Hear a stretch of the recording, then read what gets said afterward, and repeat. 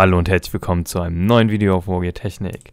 Heute habe ich nochmal eine kleine Erweiterung zum letzten Mal. Letztes Mal hatten wir hier diese klitzekleine Apparatur vorgestellt. Ähm, das ist eigentlich nur ein T-Flip-Flop, der mehrere Funktionen jetzt hat. Ähm, da gibt es jetzt auch nochmal eine kleinere Version. Ich habe jemanden gesehen, der uns kommentiert hat und eine etwas kleinere Version geschickt hat. Aber die hier finde ich so gut und die werden wir so behalten. Etwas anders ist etwas, was mir schon länger im Kopf gewesen ist. Und zwar ist das ein, ähm, ja, wie soll man sagen, ein, ein eigentlich ein Morse-System. Ähm, hier verdeutlicht mit Binärzahlen. Ähm, und zwar funktioniert ein Morse-System ja so, dass bestimmte Signallängen und Abstände äh, Wörter ergeben, beziehungsweise ja, im Endeffekt Wörter oder ähm, bestimmte Buchstaben und Zahlen. Wurde halt früher viel im Militär benutzt, als es noch kein, äh, keine direkte Funkübertragung gab. Ähm, das hat man dann immer so mit einem Piepen gemacht. Ähm, das ist etwas anders und zwar überträgt ähm, dieses Ding eine 5-Bit-Zahl, also äh, 1, 2, 4, 6, ja genau, 1, 2, 4, 8, 16, so, ähm, über eine einzige Leitung an eine andere Stelle. Diese Leitung kann rein theoretisch beliebig lang sein, das ist völlig egal, denn ähm, ja, das ist egal, das funktioniert mit äh, im Endeffekt mit Abständen. Genau, also mit äh, Abständen von Ticks. Die ganze Apparatur besteht aus mehr oder weniger drei Teilen. Wir haben hier einmal äh, den Bereich des Sendens. Von hier aus werden die Signale hier oben eingetragen. Ähm, und über diese Leitung hier, hier ran gesendet.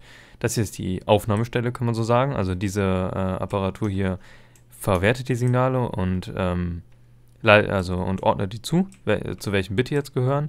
Und der Teil hier hinten, der ist einfach nur noch Speicherzelle, damit man das so schnell wie möglich hintereinander machen kann. Das kann ich auch gleich nochmal zeigen. Ähm, ganz einfach, ähm, das funktioniert so. Wir haben unsere vier Zahlen, äh, fünf Zahlen, also fünf 5 Bits, sag ich mal so. Ähm, wir wollen das. Äh, so, dann mache ich das, baue ich das hier mal ganz kurz vor. Dass eine solche Zahl mal wegen, oder ja, also das wäre jetzt eine 10001, ähm, über eine einzige Leitung übertragen werden soll. Im Endeffekt ist das gar nicht mal so schwer, denn äh, was wir hier benutzen sind Tickverkürzer. So. Ähm, das sieht dann ungefähr so aus. Irgendwie ruckelt es gerade so ein bisschen. Sorry dafür. Ähm, so. Ich baue das mal ganz kurz vor. Ähm, genau. So, die gehen schon fleißig an. Und zwar funktioniert das so, dass... Ja, genau. Das hier sind jeweils, wie gesagt, unsere Bits. Und wird jetzt ein Bit aktiviert, wird ähm, hier eine Reihe durchgeschliffen, die diese Dinger hier aktiviert. Diese ähm, ähm, Tickverkürzerer. Und ich aktiviere diesen hier. Dann wird hier ein ein Tick kurzes Signal äh, durchgeleitet. Das ist hier leider zwei Ticks lang. Ich wollte das eigentlich einen Tick lang haben, aber äh, das ging nicht, weil die Aufnahmestelle das so nicht äh, hinbekommen hat. Und Genau nach einem vollen Repeater wird die nächste Zahl fortgeschickt. Äh, Kommt jetzt keine Zahl, registriert das die Aufnahmestelle. Äh, die shiftet einfach weiter, also ähm, die geht einfach die Zeilen durch und registriert dann, okay, keine Zahl, gehen wir zur nächsten, dann kommt die nächste. Das sieht dann so aus. Hier ähm, ist unser Eingangssignal, das ist einfach, ähm, es geht hier lang. Hier ist unser erster Bit, der wird äh, sozusagen abgefeuert und hier oben wählen wir ihn aus. Das heißt, hier im Moment wird nichts übertragen. Erst wenn ich den hier aktiviere, wird mal wegen erst das, äh, der dritte Bit hier aktiviert. Das dritte Bit. Ähm, so, dann geht das hier durch einen Tickverkürzerer und wird dann über diese Leitung hier ähm, geschickt. Hier ist dann noch eine kleine Sache, das ist nämlich der, ich sag mal so, Vor, äh, ich weiß nicht, wie man das sagen, das, das Signal, was vor dem Hauptsignal kommt, also vor dem äh, eigentlichen Signal, das ist auch zwei Ticks lang. Das führt erstmal hier lang, sodass äh, hier erstmal nichts ran kann an diese Signale, weil das hier sind die einzelnen Bits, die aufgenommen werden. Und zwar ist dieses Bit hier das erste von hier. Ähm, genau. So, das Signal, äh, das Anfangssignal geht erstmal hier rein und geht in eine Speicherzelle rein. Im Moment, äh, nach 3 Ticks, geht das in eine Speicherzelle rein, das ist die hier. Die schaltet erstmal diesen Weg hier frei, dass das Signal hier einmal durch kann. Äh, des Weiteren wird aber noch diese Leitung hier unten aktiviert und das hier ist dann eigentlich äh, der Trick hinter dem äh, Einsen- und Nullen-Verfahren, dass hier einfach ähm, gesperrte Repeater sind die werden genau in dem Zeitpunkt äh, geöffnet, wenn hier dieses Signal anliegen soll von der 1, also von mal wegen, wir nennen das jetzt 1, 2, 3, 4, 5, dann äh, liegt genau zu dem Zeitpunkt das Signal 1 hier an. Wenn es das nicht tut, dann wird das hier kurz geöffnet und äh, eine 0 wird eingespeichert, also es ändert sich nicht der Zustand. Ähm, ist jetzt der zweite Bit aber aktiviert, kommt hier ein Bit durch und ähm, der wird aufgenommen und verarbeitet. Äh, beziehungsweise erstmal kurz gespeichert. Ähm, das sieht hier folgendermaßen aus. Man kann das eigentlich äh, unendlich weit stacken. Irgendwann macht es keinen Sinn mehr, weil man sicherlich keine Millionen äh, in Minecraft in irgendeiner Weise speichern will und sowieso eigentlich keine äh, Computerzahlen. Das ist ja eigentlich Schwachsinn. Man kann das ja zum Beispiel für Befehle zum Beispiel nutzen oder für Wargears. Weil man kann ja hier mit ganz viel machen. Man kann ja auch bestimmte Funktionen dadurch auslösen. Wenn jetzt mal wegen eine bestimmte Kombi hier ist, wenn man hier was Bestimmtes eingetragen hat, kann am Ende des Wargames mal wegen eine Kanone abgefeuert werden. Oder so ähnlich. Oder ein Licht angeschaltet werden. Über eine ewig lange Distanz mit nur einer einzigen Leitung. Ja. So, ähm, wo waren wir? Äh, das Signal kommt hier rein. Dann wird das einmal sozusagen äh, hier unten lang geleitet mit der Fackel auf den gesperrten Repeater.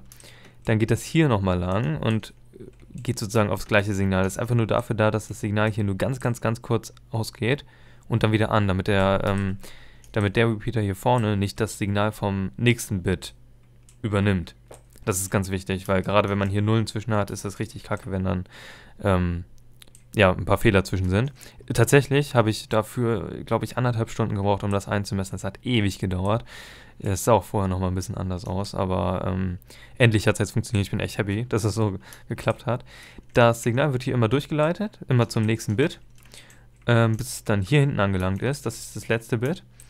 Ähm, hier geht es in einen kleinen Tick-Verkürzer rein, der dafür sorgt, dass ähm, das ganze Teil wieder resettet wird. Äh, das hier ist einfach nur die Apparatur, dass hier sich keine Clock bildet. Ähm, denn diese Leitung hier ist gleichzeitig der Reset, denn sobald hier kein Signal mehr anliegt und diese Dinger hier aufgehen, wird eine 0 eingespeichert. So, in der Zwischenzeit, äh, das ist diese Leitung hier, wird kurz bevor das resettet wird, einmal hier in den Speichertrakt äh, geleitet, das Signal, weil hier unten nämlich die Bits rauskommen. Ähm, so, und hier hinten ist dann der Output von den Bits, äh, von den, von den Speicherzellen. Das wird kurz aktiviert, das Speichersignal, und dann direkt wieder gelöscht. Ähm, ich demonstriere das einfach mal. Wir speichern jetzt mal einfach alles rein. Das ist dann erstmal so das äh, naheliegendste Beispiel. Äh, ich drücke hier drauf, ich habe hier extra so ein bisschen Verzögerung reingemacht, weil das sonst zu schnell geht. Ähm, ich fliege jetzt dahin, da seht ihr mal eine ganz kurze Zeitlupe, wie das so aussieht, was da so passiert.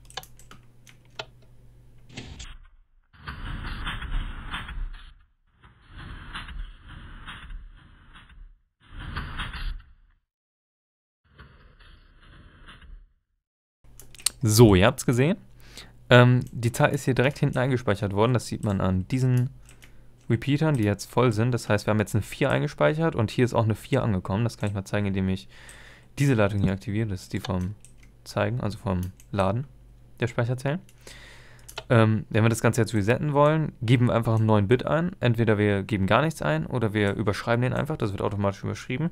Wenn wir jetzt zum Beispiel eine 1, 0, 0, 0, 1 eingeben, dann passiert folgendermaßen.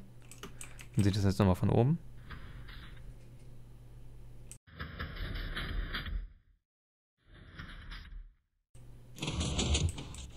so, ihr habt es gesehen. Äh, jetzt ist hier auch eine 10001 eingespeichert. Ähm, ich habe es noch nicht getestet, wie lange man diese Strecke machen kann, weil mir ist aufgefallen, es war ganz oft so, dass gerade bei diesem vorderen Repeater hier, deswegen haben die auch alle eine 2-Tick-Aufnahme, dass das Signal da ganz kurz gespeichert wird sozusagen, ähm, war es ganz oft so, dass das Signal hier perfekt getimed war, aber der Repeater das Signal nicht aufgenommen hat. Weil das einfach zu kurz war, weil vorher waren das hier Einticks.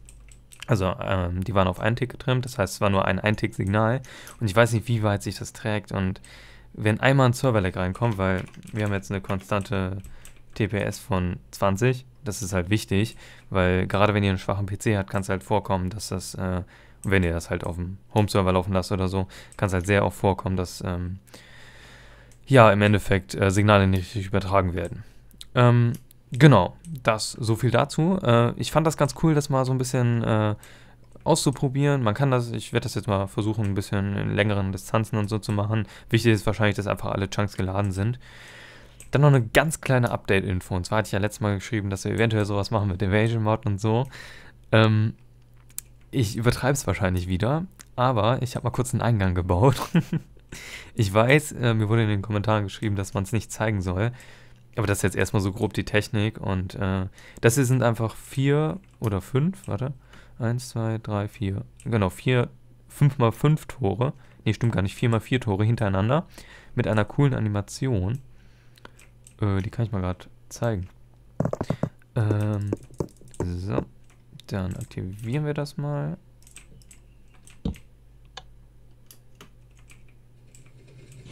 Ah, man hat es, glaube ich, nicht so gut gesehen. Und zwar gehen die von hinten zu und andersrum wieder auf.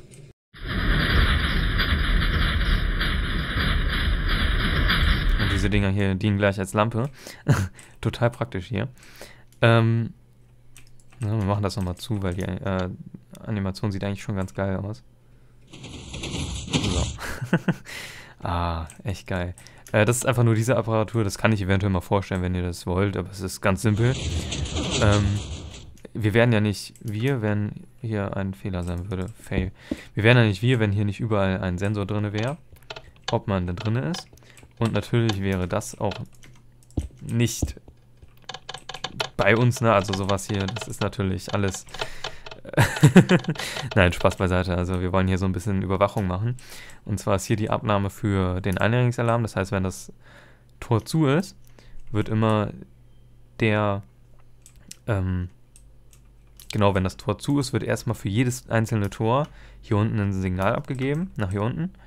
Und zwar ist das diese Linie, wenn eine Tür offen ist, dann ist das hier die erste Tür, die da, die zweite, die dritte, die vierte. Ähm, beziehungsweise wenn Tür zu ist, glaube ich. Moment. Ich glaube, wenn die Tür zu ist, ja. Also es ist natürlich immer ein bisschen mit Signalverzögerung. Ähm, ja, ihr seht, das geht wirklich nacheinander äh, auf. Das heißt, greift wirklich ab, ob die Tür wirklich zu ist. Ähm, das ist einfach der Eindringlingsalarm. Das heißt, wenn jetzt jemand über diesen Sensor geht, wird äh, hier ein Signal abgegeben. Das wird dann irgendwo dann in der Kommandozentrale, wo ich da so ein bisschen einen Anfang gebaut habe, äh, aufgefangen. Dann habe ich noch was Cooles gebaut und zwar erstmal ganz simpel, also wirklich, ähm, ich weiß gar nicht, wie wir das, ich, ja, das hier war jetzt gerade der Einigungsalarm dafür, egal. Ähm, ich weiß gar nicht, ob wir das jetzt so lassen. Das ist ein Mini-Code-Schloss ähm, und so eine Falte, das heißt, wenn man sich hier drauf steht und diese Dinger hier aktiviert. Da passiert nichts. So. Dann fährt man so runter und auch wieder mit so einer Animation. Ähm, wenn ich das von oben einmal zeige, das sieht eigentlich echt geil aus. Das sind so ganz viele Shots übereinander. Dann. Ja. Gehen die auch wieder andersrum zu. Ihr seht das, dass die äh, anderen, also dass die unteren zuerst äh, aufgehen, äh, zugehen. Genau, die, äh, da ist einfach nochmal das gleiche verbaut. Das ist hier diese Apparatur. Genau, und dann äh, kleine Kommandozentrale, so ein Anfang davon. Ähm, ich habe mir überlegt, das soll jetzt so ein bisschen weniger Design, aber dafür mehr, ja, ich sag mal, mehr Funktion auf kleinstem Raum. Wir haben hier, allein in diesem Modul haben wir, wie viele tatsächlich? Tatsächlich 16 Funktionen. Also hier haben wir 8, jeweils äh, 8 pro, pro Reihe hier. Das ist nämlich einmal die hier, die hier, die hier und dann nochmal die. Ähm, beschriften ist natürlich hier ein bisschen schwierig, aber ich denke mal, damit muss man sich einfach auskennen mit diesem System und dann kommt man da schon hinter und kleine Schilder kann man hier hinschreiben. Ich meine, hier ist ja Platz, zur Not macht man das hier weg, dann ist da auch Platz. Licht ist natürlich direkt mit eingebunden hier und äh, wenn Stromausfall ist, ne, ist halt dauerhaft an, weil hier sind äh, Fackeln drin. Genau, soweit so gut. Also äh, ich wollte jetzt auch nicht so unglaublich den Einblick geben. Eigentlich wollte ich das nicht. Ach ja, genau. Und hier kann man dann nochmal ferngesteuert das Tor natürlich öffnen und schließen.